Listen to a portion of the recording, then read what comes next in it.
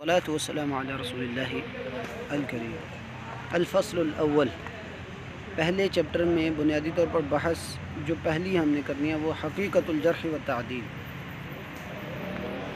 यानी पहला जो बाब था उसमें पहला पहला जो टुकड़ा है वो ये जरा तादील की हकीकत और दूसरी उनका तारज़ जब आ जाए तो उसमें क्या कवायद मद्दनज़र रखने लेकिन पहले हमने जरा और तादील की हकीकत के बारे में पढ़ा जरा और तादील पहले हम जरा को लेते हैं कि जरा की क्या तारीफ़ है और उसकी क्या सूरत है। जरा बुनियादी तौर पर लगत में, यानी अरबी ज़ुबान में जो अरबी के फ़ुकहा हैं, वो ये कहते हैं कि अलजुर्ह, जीम की पेश के साथ अगर आए तो उसका मतलब होता है कि जिसम में, बदन में किसी लोहे के साथ कोई ज़रब लगाना, कोई चोट देना, इसको जुर्ह कहते हैं। और जीम जो ज़बर के साथ है, उसका मतलब है कि ज़बान के साथ किसी की मानवी तौर पर या उसकी इज़्ज़त में या उसकी आबरू में कोई बात करना, यानी किसी की ऐब जोई करना, ये जरा है। और असलाही तौर पर जरा से मुराद किसी रावी की दीनदारी और हाफजे के बारे में उसका वो वसफ़ बयान करना, उसकी वो सूरत बयान करना जो इस बात का तकाजा करे कि उस रावी की रिवायात को कमज़ोर समझा जाए या उसकी रिवायात को ज़यीफ़ या मरदूद समझा जाए। अलबत् पहली जो सूरत है जिसमें एक मौसूफ़ रावी जिसकी रिवायात को कमज़ोर समझा जा सकता है, उस ख़ास वसफ़ की वजह से या उस ख़ास ऐब के बयान करने की वजह से, वो ये वसफ़ हो सकता है कि उसको कहा जाए कि असदूक़ से ये ख़ास किस्म की तालीफ़ आप कह सकते हैं ख़ास किस्म की ये असलाहत हैं जो जरा और तादील के के जहाँ पाई जाती है कि वो एक ख़ास असलाहत यूज़ करते हैं और उसके ख़ास मानी और मफाहिम होते हैं। सदूक बुनियादी तौर पर हाफजे की कमी की लामत है, लेकिन हिफ्स भी साथ में आ जाए तो ये बहुत ज़्यादा कमज़ोर एक रिवायत के ऊपर दलालत करता है। अलबत् अगर ऐसा रावी जो सदूक भी है और सही हिफ्स भी है, हाफजे का बहुत ज़्यादा कमज़ोर भी है लेकिन उसकी रिवायात इस सूरत में कवी और साबित हो सकती हैं जब उसमें किसी ख़ास हदीस या मुन हदीस में कोई ख़ास करीना, राज करीना जिसको कहें, वो पाया जाए, जो इस बात पर दलालत करे कि इस रावी की इस ख़ास हदीस में हाफजे को लिया जाएगा और इसका, इस ख़ास हदीस में हाफजा जो है वो ठीक है। तो अगर कोई ऐसा करीना मिल जाता है जो इस बात पर दलालत करे कि इस, इसका हाफजा तो कमज़ोर है, लेकिन इस ख़ास हदीस में इन्होंने जो बात कही है, वो सही है वो मुख्तु किस्म के कराइन हो सकते हैं और मुख्तु किस्म की सूरतें हो सकती हैं मुख्तु किस्म के शवाहद और दलाइल हो सकते हैं उस पर। लेकिन ऐसी कोई दलील या करीना मिल जाता है तो उसकी रवायत को जो है कभी समझा जाएगा और साबित समझा जाएगा। और रावी अगर इन अयूब से मौसू हो या उन अयूब से उसको कहा जाए जरा व तदील, उसका वो है, बयान करें जो इस बात का तकाजा करे कि इस रावी की रवायात को ज़यीफ़ समझा जाए।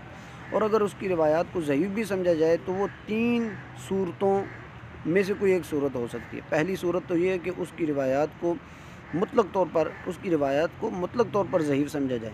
अगर ऐसी रिवायत है जो उसकी मुतलक तौर पर ज़यीफ़ है तो उसको ऐसी सूरत में अगर वो अकेला ही रिवायत करने वाला है, यानी उस हदीस को रिवायत करने वाला ये एक ही रावी है, इसके अलावा इनके तबके में किसी और ने रिवायत नहीं की तो इसकी वजह से अगर ये अकेला है और ज़यीफ़ भी है तो इसकी रिवायत जो है बिल्कुल तो जो है काबिल कबूल नहीं होगी। लेकिन अगर ये रावी ख़ुद ज़यीफ़ है, लेकिन इसके साथ कोई और रावी भी हैं, जो ज़यीफ़ तो हैं लेकिन यह है कि इसकी रिवायात आपस में मिल के जो है वो हसन लगैरी ही के दर्जे को पहुँच सकती है, जो कि काबिल कबूल है। यानी एक ज़यीफ़ रावी है।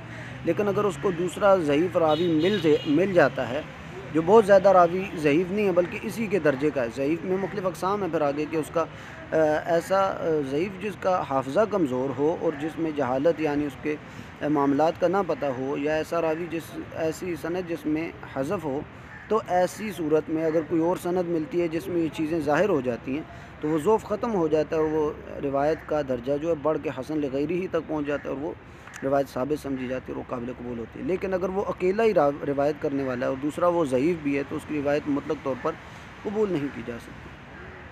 दूसरी सूरत ये हो सकती है कि वो रावी जो है मुक़ैद तौर पर ज़यीफ़ पहली सूरत है मुतलक ज़यीफ़ हो, एक ये है कि मुक़ैद तौर पर ज़यीफ़ मुक़ैद यानी उसमें किसी चीज़ की कैद हो, उस कैद में वो ज़यीफ़ हो, उसके अलावा वो सही हो। जैसा कि बाद शयूख किसी रावियों के बारे में होता है ना कि ये अगर इन शयूख से बयान करे तो ये इसकी रिवायत को ज़यीफ़ समझा जाएगा।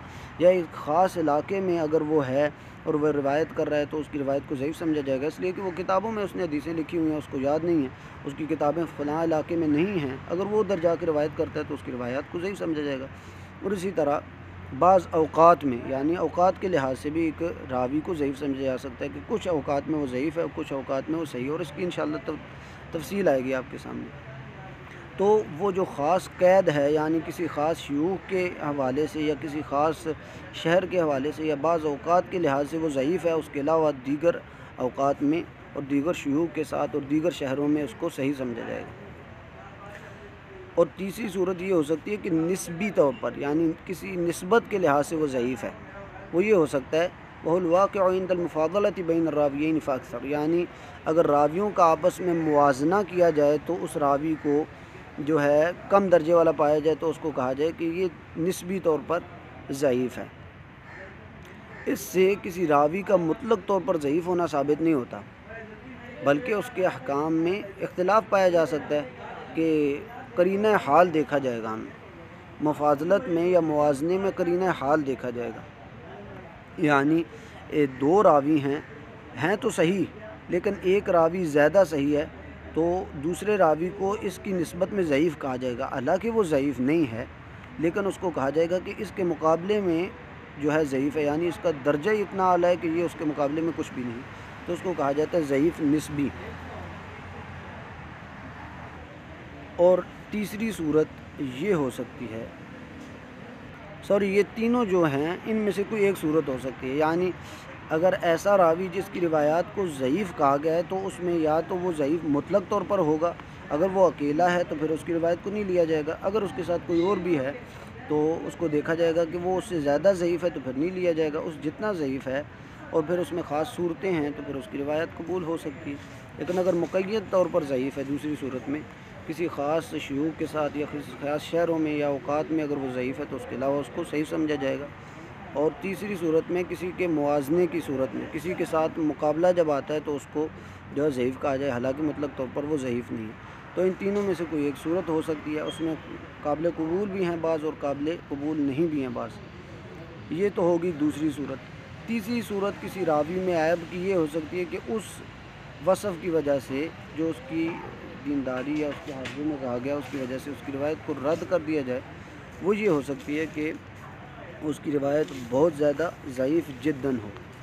और अभी बहुत ज़्यादा ज़यीफ़ जिद्दन हो, यानी ऐसा ज़यीफ़ कि उसकी रिवायत किसी सूरत में भी कभी ना हो सके और ना वो ख़ुद किसी रिवायत को तकवीत पहुँचा सके। तो ऐसी रिवायत मतलब तौर पर रद्द की जाए